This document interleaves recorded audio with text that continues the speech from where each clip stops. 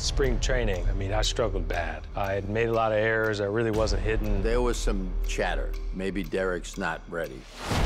It wasn't a slam dunk that this guy was going to be a star by any means. And then, all of a sudden, Derek Jeter showed up. Someone doubts me, I hear you. I have a list in my head of people who doubted. ESPN Films presents The Captain, Episode 2, July 21st at 9 p.m. Eastern on ESPN and ESPN Plus.